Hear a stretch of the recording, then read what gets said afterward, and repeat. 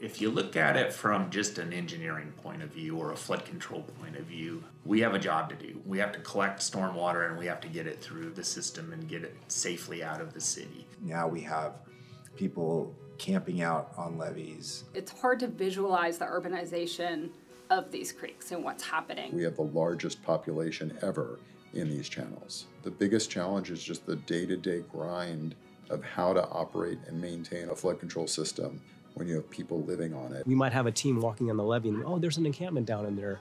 Let's go check it out. Well, maybe we're not going to check it out if there's, you hear dogs barking and is it safe to go in there? So we might not be able to actually get to the site. We are flood control engineers. We're not a social service. We're not trained or accustomed to dealing with, with the homeless population. We are all aware that when you're in the creeks, there are certain situations that can and will happen. I've told my team, if you don't feel safe going somewhere, you're not going. I mean, let me know what's not getting done. If you feel threatened or if you feel like you're in a, you're getting in a situation where you can't control what's happening, just leave. If you ask if this wasn't something that they should have saw coming, I almost don't see how you couldn't see it coming. In some ways, areas where there are flood control facilities are the best for the, the homeless community. I know where I would go if I was homeless. It sure wouldn't be on a freeway overpass. It would be more somewhere like on the parkway or on the levee. What many people are trying to do once they've become homeless stay under the radar. They are worried about their own safety. Everybody is, is living where they can find a place to live.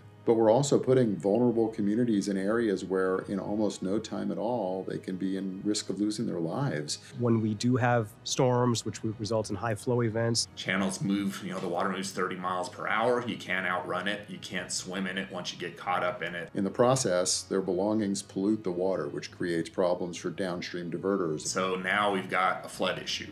Now we got water trying to get out of the channel or trying to overtop a bridge. Meanwhile, maybe their structure that they've temporarily put up has cut into the levee. Structures, houses, and businesses that are next to that channel can get flooded. So there's a domino effect. And so we may be heading for a true disaster. You know, we are all working towards the same end. Nobody out there thinks that we should have a bigger homeless problem. We need to find ways of helping the general public understand how important this is. Some folks might have the maybe false sense of security with uh, you know levee systems in place. We're all interested in getting the federal agencies we deal with to be more aware of what's happening on the ground. Whether it's it's in urban streets or out on our floodplains, we need help. It's just like flood control. The consequences to our society of continuing to allow unregulated camping on flood control facilities is devastating. We need to be part of the solution here, not just say, hey, there needs to be a solution. But we are doing what we can and collaborating